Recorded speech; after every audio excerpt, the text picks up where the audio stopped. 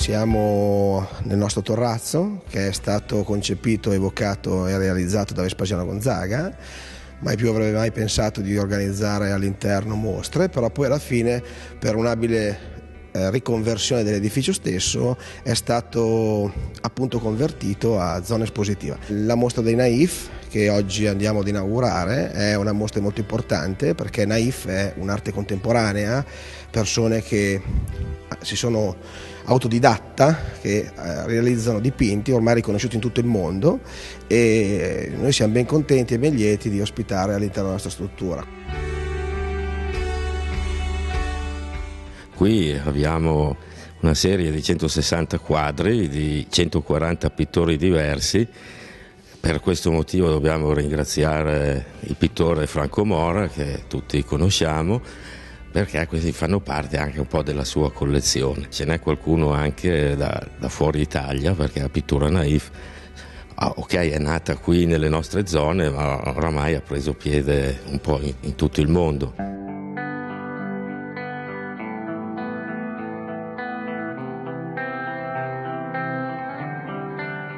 Questa collezione che vediamo oggi in mostra con questi 160 pezzi di 140 autori ci offre l'occasione ancora una volta appunto di parlare di Zavattini che fu tra le altre cose un generatore di collezioni. Lui stesso collezionista e appunto promotore di tante collezioni come quella del premio che si è creata con il Museo di Luzzara. E da qui appunto mh, al di là di quello che è il patrimonio che si è creato Luzzara con il premio dei Naif che è inaugurato nel 67, eh, ci sono stati tanti collezionisti che hanno iniziato appunto a, eh, raccogliere le opere appunto del naifismo italiano. Il mio contributo alla mostra è stato di carattere giornalistico, nel senso che ho cercato di investigare quelli che sono stati i momenti salienti del boom eh, nella bassa reggiana mantovana dell'arte naif. Un'arte naif che è stata trascinata da tre monumenti, mi sto riferendo a Ligabue, mi sto riferendo a Rovesti, mi sto riferendo a Ghizzardi.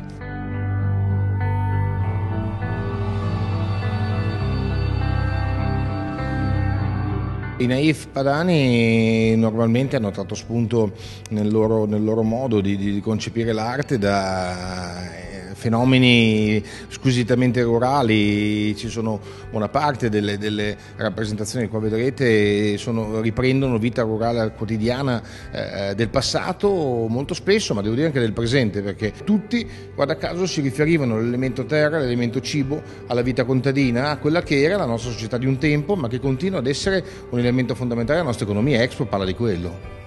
La pittura della nostra pianura padana esprime il lavoro, esprime la relazione e è un modo davvero molto importante, molto interessante per valorizzare questo patrimonio artistico che deve vivere attraverso eh, eh, gli eventi culturali, attraverso situazioni che riuniscono la comunità e facciano apprezzare quello che è il genius loci di questi luoghi.